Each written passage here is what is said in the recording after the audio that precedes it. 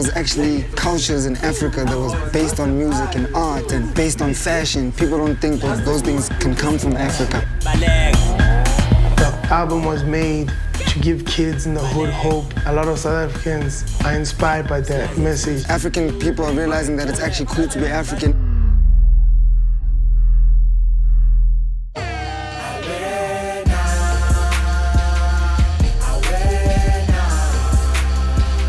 It's been 22 years since the end of apartheid and Nelson Mandela becoming South Africa's first ever democratic president. Though the country has been praised for its smooth transition to democracy, many inequalities created by the apartheid system still remain. In recent years, a vibrant creative scene has emerged, which is addressing some of these inequalities and includes some of the country's biggest rap artists. Most of them born after Mandela's inauguration in 94, these young rappers are reshaping the sense of identity of South Africa's youth and expressing what it means to be born free. I wanted to meet these young rap musicians and find out more about identity and hip hop in South Africa. I'm at Kyalami Terrace. It's one of the gated communities in the north of Johannesburg, where Cassper Nyovest, who's one of the biggest rap stars coming out of South Africa right now, has his recording studio. And he invited me today to find out a little bit more about South African hip hop. It's like the paparazzi now at the crib now. You know it. How you doing? I'm good.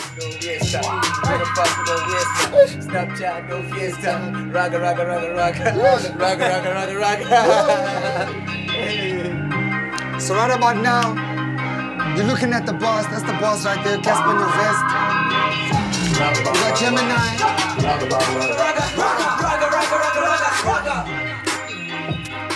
What's it all about, hip hop in South Africa? I grew up under like a lot of Pantsula guys. It's like our thugs. Grew up to Kwaito music, which is um, a genre that was formed in South Africa. A lot of uh, South African hip hop is influenced by Kwaito. So you were kind of promoting that culture in your music? Yes. Not kind of, like it's the influence is very heavy. Cassper Nyovest is part of a new generation of successful independent rap artists whose music is all about life in the townships. His debut record, Tsholofelo, was the first hip hop album in South Africa to go platinum in 10 years, making Cassper one of the country's biggest rap stars.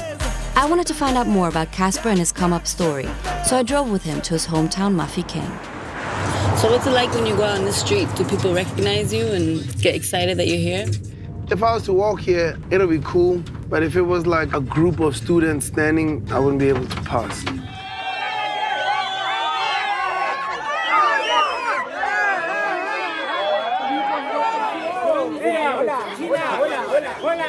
So we just got to Mafikeng, and this is where Cassper's from. This is where he grew up. And it's a really interesting area because a lot of creative people came from here, a lot of famous musicians, a lot of famous actors. Cassper invited me over to meet his family and meet some of the kids that he grew up with. That's my guy. Phil Temba. Cassper dropped out of school to pursue a career in music when he was 16. So does Cassper come back a lot? We see him once in a while. He's so busy, huh? So how did you feel when he left school as a teacher? Hey, we're fighting. we're fighting like we were fighting. And he used to tell us, hey, I know you that you see a doctor or a lawyer here. I'm not a doctor, I'm not a lawyer, but a musician. But at the end of the day, we said, I, if that's what you want, Papa, let's just support you. So are you really proud of him now? Definitely. Under apartheid, the majority of non white South Africans were forced to live in segregated areas such as townships or the so called homelands. The freedom young people are experiencing in South Africa today has only been a reality for a little over 20 years, giving success stories like Cassper's even greater significance. People never used to see us even passing, never even to greet you. But since Cassper, and after they don't, ooh, hello, Granny, hello, Granny. Oh, they didn't see us first. When Cassper's home, he tries to do the simple things he used to growing up, like playing around a street soccer with his boys. This is hood football. No fucking around. You don't get these big goals. Just get a little brick you gotta hit.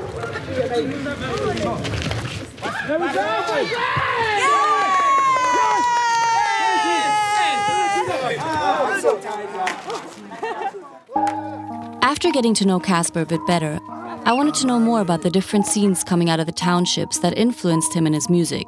So I met up with him again the next day at his house in Kyalami Terrace. Mama, I made it. This was my first single that got us best video. It's called Gusheshe. The Gusheshe is like a car that thugs used to drive, the 325 IS. The name comes from Akshesha, which means quick. And they would go out and rob in the suburbs and then come and celebrate their score in the hood and they would spin these cars and it would make the hood happy, you know, to see them spin these cars. So they were like role models. Do they still do that? Yeah, they still spin, but not for the same reason. Right now, it's more like recreation. In the 80s, a thriving gangster culture emerged in townships, which gave birth to spinning, with spinners being the hood heroes of their time. The scene revolved around the Gusheshe, a local name given to the BMW 325 IS.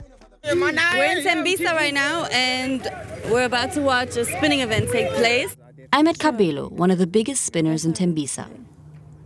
So how was it when Cassper came out with the Gusheshe video? Did that kind of uh, affect spinning? It actually improved spinning because people now do it as a sport. It's no more like back in the days where the people who do it were those thugs. Most people started enjoying to spin, seeing him on that video. There's no car that actually spins like a Gusheshe. The way it moves, the things it does, you know, the looks of the car, you know, became a culture in a way. Okay, I can always give you uh, just that sound of the car and then just hear what I'm talking about actually.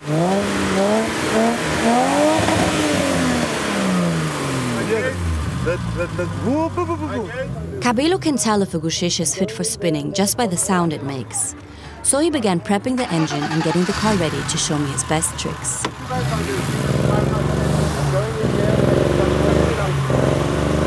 I'm a little scared. Let's go before we get overheated. It's come, good? Come, come. Ah! Oh my god.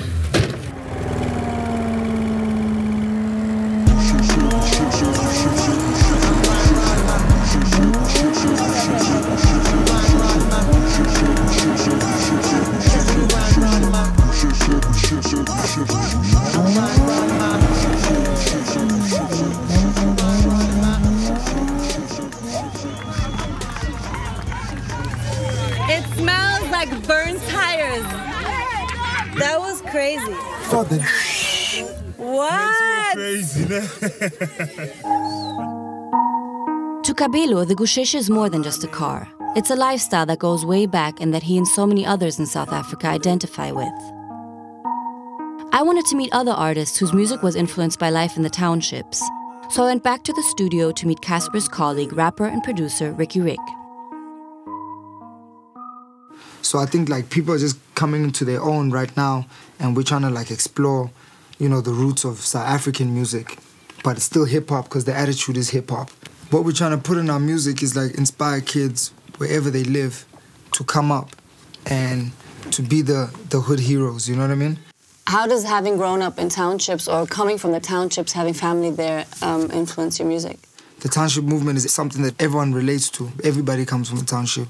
The style that how the gangsters used to dress or how they used to dance, the slang. This is how they used to drive their cars or put their seat back. You know, that's always our reference. You always have the link from where you come from. The gangster era gave rise to another scene shaping life in townships the Pantsula. Original Pantsulas were gangsters who became famous for a type of dance they would do by the same name. Today, Pantsulas are trying to change the negative image of the scene, but many of the old customs have remained the same.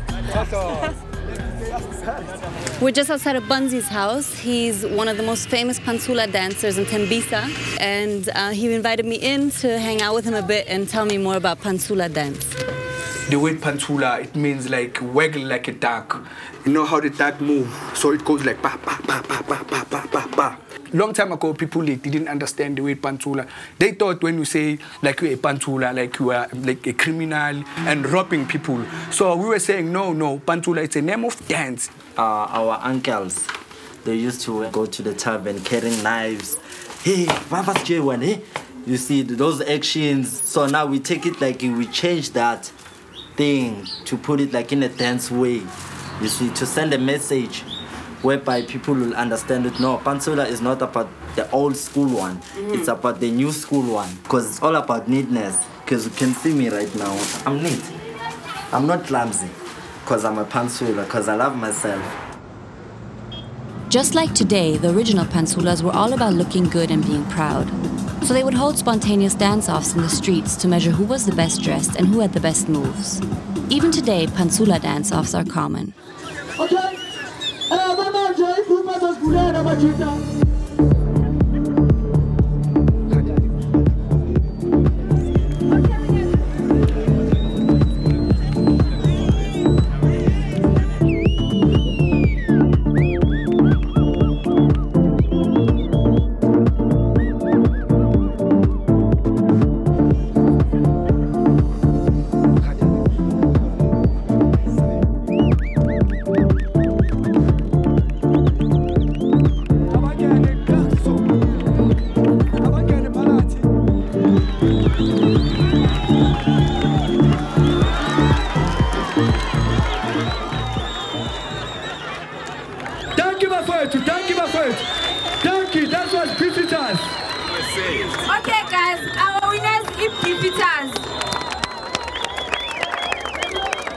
After spending so much time in Tembisa, I began to fully understand what this movement Riky and Cassper are pushing was all about.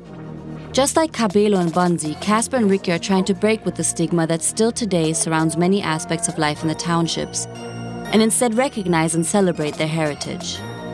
They are reshaping the identity of young kids by showing them that they can be anything they want, no matter where they are from. I wanted to see Riky and Cassper in action and meet the fans they were speaking to. I'm at Major League Gardens. It's one of the biggest music festivals in Johannesburg. And tonight, Riky Rick, Cassper Nyovest, Major League Twins, and some other surprise guests are going to perform. Who'd you come here to see? I came here to see Cassper, obviously. Yeah? Why do you like him so much? And he's from the hood, I'm from the hood. So just re- represents what where I come from. Because I'm also trying to rap, trying to get my game up. So it just shows me that there is a chance that we'll make it. Straight up. While many of the musicians in the VIP section were giving interviews, I found Riky and Cassper in a quiet corner of the parking lot reminiscing about their past. Me and Riky met on the internet. What do you mean you met on the internet? So I used to like send him my tapes and he started sending me beats. We met like three years later. So everything you guys met each other online and would just send each other music back and forth? Yeah, Would you guys rap on each other's tracks already? The funny thing is no. He sent me beats, but I never I never made any songs on the beats. I would actually just listen to the beats and I'd love them so much that I couldn't write anything. And then I tried to write something to one of the beats and he thought it was whack, so he ended up taking the beat back. He took the beat back and he put it on his album. Sometimes these things happen. So it started on the internet, then it became a real thing. Yeah, then we became a real Now it's like a real thing. It's like real friends. Whether we do music together or never again, always gonna be here riding.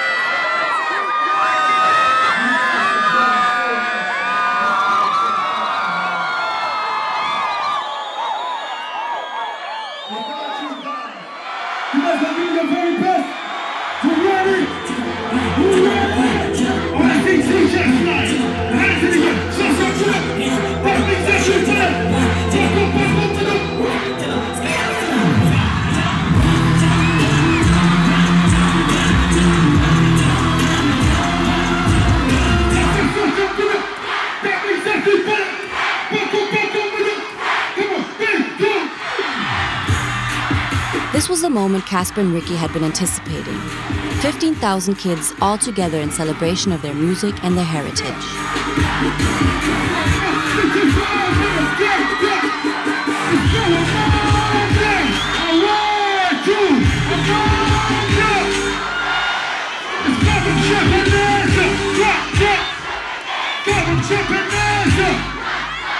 I go by the name of Cassper Nyovest and I love you so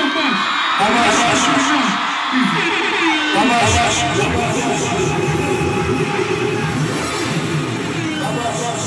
He's a believer and he's a dreamer.